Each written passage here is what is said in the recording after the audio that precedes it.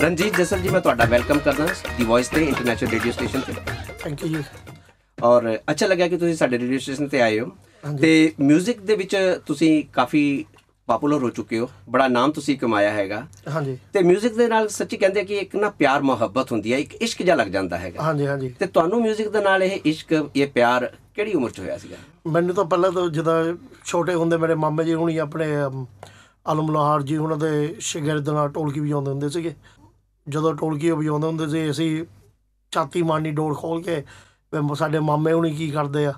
ਉੱਥੋਂ ਬਸ ਜਿਹਦਾ ਆਪਣੇ ਜਿਹਦਾ ਕਹਿੰਦੇ ਹੁੰਦੇ ਆ, ਬਲੱਡ ਬਲੱਡ ਦੇ ਵਿੱਚ ਹੁੰਦਾ ਉਹੀ ਕੰਮ ਜਿਹੜਾ ਤੁਸੀਂ ਕਰਨਾ ਚਾਹੁੰਦੇ ਹੋ, ਫਿਰ ਤੁਹਾਡਾ ਉਧਰ ਨੂੰ ਲੈਣ ਜਿਹਦਾ ਕੋਈ ਹੱਥ ਫੜ ਕੇ ਤੁਹਾਨੂੰ ਜਗ੍ਹਾ ਦਿਖਾਉਂਦਾ ਹੁੰਦਾ ਵੀ ਆਹ ਦੇਖੋ ਕੀ ਜਗ੍ਹਾ ਆ, ਤਾਂ ਉਹ ਹਿਸਾਬ ਸੀਗਾ ਵੀ ਸਾਨੂੰ ਉਹ ਜਗ੍ਹਾ ਦਿਖਾ ਲਈ ਗਈ ਆ ਪਹਿਲਾਂ ਤੇ ਹਾਂਜੀ ਤੁਸੀਂ ਕਿਹੜੇ ਕਿਹੜੇ ਸਾਜ਼ ਵਜਾ ਲੈਂਦੇ ਹੋ?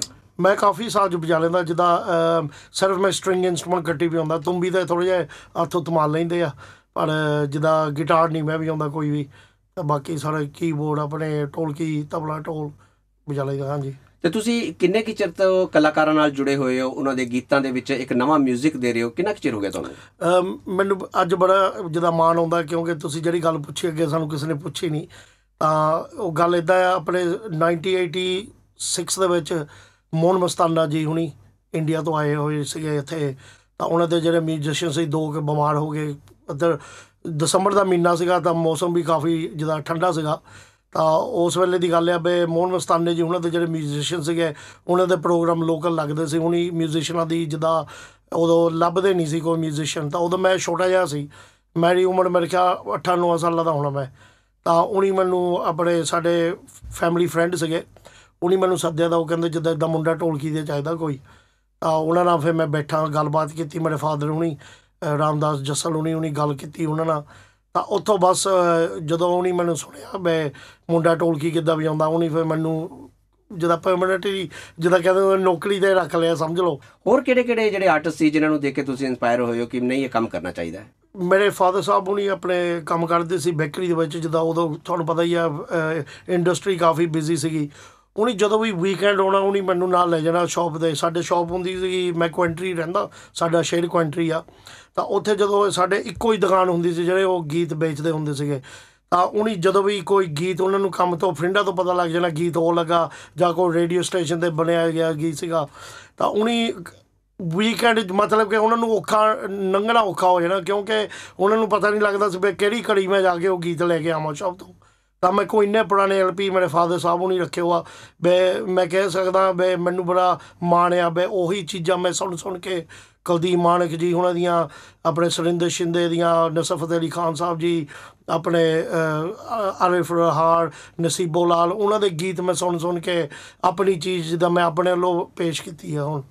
ਜਿਸ ਤਰ੍ਹਾਂ ਕਿ ਤੁਸੀਂ ਇੱਕ ਗਾਇਕ ਦੇ ਗੀਤਾਂ ਨੂੰ ਲੈ ਕੇ ਉਹਦੀ ਕੰਪੋਜੀਸ਼ਨ ਤੁਸੀਂ ਆਪ ਹੀ ਕਰਦੇ ਹੋ? ਜਿੱਦਾਂ ਕਈ ਗੀਤ ਇਦਾਂ ਦਾ ਹੁੰਦੇ, ਜਿੱਦਾਂ ਆਪਾਂ ਬਹਿ ਕੇ ਜਿੱਦਾਂ ਸਿੰਗਰਾਂ ਨਾਲ ਵੀ ਜਾਂ ਹੁਣ ਜਿੱਦਾਂ ਮੇਰੇ ਕਾਫੀ ਸਿੰਗਰ ਇੰਡੀਆ 'ਚ ਆ ਪੰਜਾਬ ਜਲੰਧਰ ਦੇ ਵਿੱਚ ਜਿੱਦਾਂ ਆਪਣੇ ਮੁੰਡਾ ਬਲਵੀਰ ਮਸਤਾਨਾ, ਮੋਹਨ ਮਸਤਾਨਾ ਜੀ, ਉਹਨਾਂ ਦਾ ਲੜਕਾ ਉਹਨਾਂ ਨਾਲ ਮੇਰੀ ਜਿੱਦਾਂ ਫੋਨ ਤੇ ਪੱਲੀ ਵਾਲੀ ਮੁਲਾਕਾਤ ਹੋਈ ਸੀ ਉਸ ਤੋਂ ਬਾਅਦ ਮੈਂ ਇੰਡੀਆ ਵੀ ਗਿਆ ਉਹਨਾਂ ਨਾਲ ਮੁਲਾਕਾਤ ਹੋਈ ਸਟੂਡੀਓ 'ਚ ਕੰਮ ਕੀਤਾ ਅਸੀਂ ਕਹਿ ਰਹੀ ਇਦਾਂ ਦੀ ਸਲਾਹ ਹੁੰਦੀ ਹੈ ਜਿਹਦੇ ਵਿੱਚ ਕੰਪੋਜੀਸ਼ਨ ਥੋੜੀ ਜਿਹੀ ਉਲਟ ਪੁਲਟ ਕਰਕੇ ਤਾਂ ਆਪਾਂ ਡਿਫਰੈਂਟ ਟਰਾਇਲ ਕਰੀਦੀ ਕਿਉਂਕਿ ਜਿਹੜਾ 뮤직 ਕਰਦਾ ਬੰਦਾ ਉਹਦੀ ਸੋਚ ਹੋਰ ਹੁੰਦੀ ਆ ਤੇ ਹਰ ਇੱਕ ਗਾਇਕ ਨੂੰ ਜਿਹਦੇ ਤੁਸੀਂ ਗੀਤਾਂ ਨੂੰ ਲੈਂਦੇ ਹੋ ਤੁਸੀਂ ਹਾਂਜੀ ਉਸ ਗਾਇਕ ਦੇ ਵਿੱਚ ਤੁਸੀਂ ਕੀ ਕੁਆਲਿਟੀਆਂ ਦੇਖਦੇ ਹੋ ਕਿ ਵਾਕਈ ਉਹਦੇ ਵਿੱਚ ਕੁਆਲਿਟੀਆਂ ਹੋਣੀਆਂ ਚਾਹੀਦੀਆਂ ਤਾਂ ਕਿ ਤੁਸੀਂ ਉਹਦੇ ਵਿੱਚ ਅੱਛਾ 뮤직 ਪਾ ਸਕੋ ਕਈਆਂ ਨੂੰ ਗਾਉਣਾ ਆਉਂਦਾ, ਕਈਆਂ ਨੂੰ ਨਹੀਂ ਵੀ ਗਾਉਣਾ ਆਉਂਦਾ, ਕਈ ਵਧੀਆ ਗਾ ਰਹੇ ਆ ਕਈ ਮਾੜਾ ਗਾ ਰਹੇ। ਆ ਪਰ ਸਾਰਿਆਂ ਦੀ ਮਾਰਕੀਟ ਹੈਗੀ ਆ, ਕਿਤੇ ਤਰੀਕੇ ਨਾਲ ਲੋਕੀ ਪਿਆਰ ਕਰਦੇ ਉਸ ਸਿੰਗਰ ਨਾਲ। ਜਿਹੜੀ ਹੁਣ ਕੁਆਲਿਟੀ ਹੈ, ਜਿੱਦਾਂ ਮੇਰਾ ਸਟਾਈਲ ਹੋਰ ਤਰੀਕੇ ਦਾ, ਤੁਸੀਂ ਐਲਬਮ ਸੁਣੀ ਹੋਣੀ ਆ, ਮੈਂ ਜ਼ਿਆਦਾ ਫੋਕ ਟੱਚ ਲਾਉਂਦਾ। ਮੈਨੂੰ ਚਾਹੀਦਾ ਸਿੰਗਰ ਜਿਹੜਾ ਹਰਕਤ ਨੂੰ ਸਮਝੇ ਉਹਨੂੰ ਆਪ ਪਤਾ ਹੋਣਾ ਚਾਹੀਦਾ ਵੀ ਮੈਂ ਜੇ ਕਿਸੇ ਕੋ ਸਿੱਖਿਆ ਵੀ ਆ, ਉਹਦੀ ਬੋਲਬਾਣੀ ਕਿੱਦਾਂ, ਹਰਕਤ ਦੀ ਲੱਗਣੀ, ਕਿਹੜੀ ਸੁਰ ਤੇ ਲੱਗਣੀ ਆ, ਉਹਦੀ ਸੱਤਵੀਂ ਸਵੇਦ ਆ, ਜੇ ਵੀ ਕਿਹੜੀ ਸਵੇਦ ਤੇ ਹੁਣ ਗਾਉਣਾ ਆ, ਮਤਲਬ ਸੁਰਾਂ ਦਾ ਉਹਨੂੰ ਪਤਾ ਹੋਣਾ ਚਾਹੀਦਾ ਪਰਸਨਲੀ ਇਹ ਮੇਰਾ ਓਪੀਨੀਅਨ ਆ। ਉਹ ਤੋਂ ਬਾਅਦ ਡਾਇਰੈਕਸ਼ਨ ਦੀ ਗੱਲ ਆ ਸਾਡੀ। ਉੱਥੇ ਅਸੀਂ ਫਿਰ ਬਹਿ ਕੇ ਉਹਨਾਂ ਨੂੰ ਇਹ ਗੱਲ ਦੱਸਦੀ ਵੀ ਬਾਜੀ ਆਹ ਤੇਰਾ ਕੰਮ ਗਲਤ ਆ, ਇਹਨੂੰ ਆਲਟਰੇਸ਼ਨ ਕਰਕੇ ਇਦਾਂ ਉਹਦੇ ਵਿੱਚੋਂ ਫਿਰ ਕੁਆਲਿਟੀ ਨਿਕਲਦੀ ਆ, ਜਿਹੜੀ ਪਬਲਿਕ ਦੇ ਸਾਹਮਣੇ ਆਉਂਦੀ ਆ। ਕਿ ਹੁਣ ਤੱਕ ਤੁਸੀਂ ਕਿੰਨੀਆਂ ਐਲਬਮ ਬਣਾ ਚੁੱਕੇ ਹੋ? ਹੁਣ ਐਲਬਮ ਭਾਜੀ ਮੈਂ ਐਲਬਮ ਇੱਕ ਪਹਿਲੀ ਸੀਗੀ ਇੱਕ ਫਿਊ ਸੀਗੀ ਐਲਬਮ 2006 ਦੇ ਵਿੱਚ ਸੀਗੀ। ਤਾਂ ਫਿਰ ਮੈਂ ਆਪਣੇ ਬੱਚੇ ਲਈ ਚੈਰਿਟੀ ਲਈ ਐਲਬਮ ਕੀਤੀ ਸੀਗੀ ਜਿਹੜੇ ਨਾਥ ਬੱਚੇ ਆ ਤਾਂ ਉਹਨਾਂ ਨੇ ਐਲਬਮ ਕੀਤੀ ਸੀਗੀ 2007 ਦੇ ਵਿੱਚ। ਉਹ ਕਾਫੀ ਜਿੱਦਾਂ ਸਾਡੀ ਗੀਤ ਸੀਗਾ ਉਹਦੇ ਵਿੱਚ ਮੈਨੂੰ ਮਾੜਾ ਜੀ ਗੱਲ ਯਾਦ ਆਉਂਦੀ ਆ। ਗੀਤ ਸੀਗਾ ਮਿੱਤਰਾਂ ਨੇ ਤੇਰੇ ਨਾਲ ਲਾਈਆਂ ਅੱਖੀਆਂ ਹੋਰਾਂ ਨੇ ਵੀ ਤੇਰੇ ਉੱਤੇ ਆਸਾਂ ਰੱਖੀਆਂ ਬੜੀ ਚੱਲੀ ਕਵਾਲੀ ਤਾਂ ਫਿਰ ਉਸ ਤੋਂ ਬਾਅਦ ਮੈਂ ਰੱਖੜੀਆਂ ਦਾ ਗੀਤ ਕੱਢਿਆ ਸੀ, ਕਿਉਂਕਿ ਜਿਹੜਾ ਆਪਣਾ ਵਿਰਸਾ ਹੁੰਦਾ, ਰੱਖੜੀ ਆਪਾਂ ਸਾਰੇ ਮਨਾਉਂਦੇ, ਪਰ ਉਹਦਾ ਜਿਹੜਾ ਮਤਲਬ ਹੈ ਰੱਖੜੀ ਦਾ ਉਹ ਭੁੱਲ ਹੀ ਜਾਂਦੇ ਥੋੜਾ ਥੋੜਾ ਕਿਉਂਕਿ ਇੱਧਰ ਹੋਰ ਤਰੀਕੇ ਨਾਲ ਰਿਵਾਜ ਚੱਲੀ ਜਾਂਦਾ ਪੈਰਾਂ ਨੂੰ ਚਾਹ ਹੁੰਦਾ ਵੀ ਮੈਂ ਅੱਜ ਵਧੀਆ ਸੂਟ ਲੈਣਾ, ਪਰ ਉਹਦੀ ਮੀਨਿੰਗ ਆ ਸਾਰੀ ਚੀਜ਼ ਦੀ ਉਹਦੀ ਮੀਨਿੰਗ ਆ ਕੋਈ, ਤਾਂ ਉਹ ਜ਼ਰੂਰੀ ਸੀਗਾ ਵੀ ਆਪਾਂ ਉਹਨੂੰ ਮੀਨਿੰਗ ਨੂੰ ਦੁਬਾਰਾ ਫਲਕਾੜੀਏ ਉਹਨੂੰ। ਜਿਹੜੀ ਤੁਸੀਂ ਆਪਣੀ ਐਲਬਮ ਕੱਢਦੇ ਹੋ, ਤੁਸੀਂ ਆਪਣੀ ਪੰਜਾਬੀ ਕਲਚਰ ਨੂੰ ਤੁਹਾਡਾ ਕੋਈ ਨਾ ਕੋਈ ਮੈਸੇਜ ਹੁੰਦਾ ਹੈਗਾ ਉਹਨਾਂ ਵਾਸਤੇ। ਉਹਦੇ ਬਾਰੇ ਤੁਸੀਂ ਦੱਸੋ ਕਿ ਤੁਸੀਂ ਕੀ ਸੋਚ ਕੇ ਐਲਬਮ ਆਪਣੀ ਨਵੀਂ ਇੰਟਰੋਡਿਊਸ ਕਰਦੇ ਹੋ? ਜਿਹੜੀ ਨਵੀਂ ਐਲਬਮ ਆ ਮੈਂ ਇਹ ਸੋਚ ਕੇ ਬੈਠਾ ਸੀਗਾ ਜਿੱਦਾਂ ਹੁਣ ਉਹਦੇ ਉੱਤੇ ਆਪਣੇ ਸਿੰਗਰ ਜਸਦੇਵ ਜਮਲੇ ਉਸਤਾਦ ਜਸਦੇਵ ਜਮਲਾ ਤਾਂ ਆਪਣੇ ਲਾਲਚੰਦ ਜਮਲੇ ਜੀ ਉਹਨਾਂ ਦਾ ਲੜਕਾ ਤਾਂ ਉਹਨਾਂ ਦਾ ਗ੍ਰੈਂਡਸਨ ਜਿੱਦਾਂ ਆ ਤਾਂ ਸੁਰੇਸ਼ ਜਮਲਾ ਜੱਟ ਜੀ ਹੁਣੀ। ਤਾਂ ਉਹਦੇ ਵਿੱਚ ਇਹ ਗੱਲ ਹੁੰਦੀ ਆ ਦੇਖੋ ਆਪਾਂ ਜਦੋਂ ਪਰਿਵਾਰ ਦੇ ਵਿੱਚ ਬਹਿੰਦੇ ਆ ਉਹ ਗੀਤ ਨੂੰ ਆਪਾਂ ਸੁਣੀਏ ਜਿਹਦੇ ਵਿੱਚ ਆਪਾਂ ਪਰਿਵਾਰ ਦੇ ਵਿੱਚ ਆਪਣੀਆਂ ਧੀਆਂ ਭੈਣਾਂ ਨਾਲ ਬਹਿ ਕੇ ਗੀਤ ਸੁਣ ਸਕੀਏ ਜਿਹੜੀ ਕਿ ਤੁਹਾਡੀ ਨਵੀਂ ਐਲਬਮ ਲਾਂਚ ਹੋਈ ਹੈ। ਕੈਪਚਰ ਜਿਹੜੀ ਹੈ ਤੁਸੀਂ ਉਹਦੇ ਚ 34 ਗੀਤ ਜਿਹੜੇ ਆ ਕੈਪਚਰ। ਕੀਤੇ ਹੈਗੇ ਆ। ਤੇ ਬੜੇ ਉਹਦੇ ਚ ਆਰਟਿਸਟ ਵੀ ਜਿਹੜੇ ਤੁਸੀਂ ਕੈਪਚਰ ਕੀਤੇ ਹੋਏ ਆ ਸਾਰਿਆਂ ਨੂੰ ਇੱਕ ਲੜੀ ਚ ਪਰੋ ਕੇ ਤੁਸੀਂ ਬੜੀ ਅੱਛੀ ਐਲਬਮ ਕੱਢੀ ਹੈਗੀ ਹੈ ਬੜੇ ਅੱਛੇ ਗੀਤ ਨੇ ਉਹਦੇ ਵਿੱਚ ਤੇ ਉਹਦੇ ਵਿੱਚ ਤੁਹਾਨੂੰ ਕਿਸ ਤਰ੍ਹਾਂ ਦੀ ਰਿਸਪੌਂਸ ਆਈ ਹੈ ਹਾਲੇ ਤੱਕ? ਮੈਂ ਤਾਂ ਜਿਹੜਾ ਕੰਮ ਕਰਦਾ, ਮੈਂ ਤਾਂ ਦਿਲੋਂ ਆਪਣੇ ਵੱਲੋਂ ਕਰ ਰਿਹਾ, ਠੀਕ ਹੈ ਨਾ? ਮੈਂ ਸਿਰਫ ਆਪਣੇ ਮਿਊਜ਼ਿਕ ਪਬਲਿਕ ਨੂੰ ਦਿਖਾ ਰਿਹਾ, ਸਾਰੀ ਦੁਨੀਆ ਨੂੰ ਮੈਂ ਪੇਸ਼ ਕਰ ਰਿਹਾ ਵੀ ਆਹ ਮੇਰਾ ਮੂਡ ਆ, ਆਹ ਮੇਰਾ ਮਿਊਜ਼ਿਕ ਆ। ਰਿਸਪੈਕਟ ਕਰਨਾ, ਨਹੀਂ ਰਿਸਪੈਕਟ ਕਰਨਾ, ਉਹ ਬਾਕੀ ਬਾਕੀ ਪਬਲਿਕ ਹੀ ਬੰਦੇ ਨੂੰ ਬਣਾਉਂਦੀ ਆ ਪਬਲਿਕ ਹੀ ਬੰਦੇ ਨੂੰ ਤੋੜਦੀ ਆ।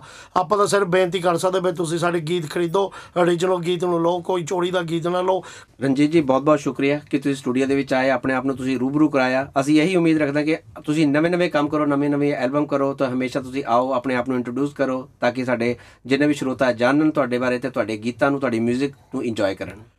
ਥੈਂਕ ਯੂ ਜੀ। ਮੈਂ ਸਿਰਫ ਵੌਇਸ ਐਸ਼ ਦਾ ਬਹੁਤ ਬਹੁਤ ਧੰਨਵਾਦ ਕਰਦਾ। ਤਾਂ ਸਾਰੇ ਸੁਣਨ ਵਾਲੇ ਸਰੋਤੇ ਦਾ ਜਿਨੀ ਸਾਨੂੰ ਥੋੜਾ ਜਿਹਾ ਮੌਕਾ ਦਿੱਤਾ ਆਪਣੀ ਗੱਲਬਾਤ ਪਹੁੰਚਾਉਣ ਦਾ ਸੀਡੀ ਦਾ। Thank you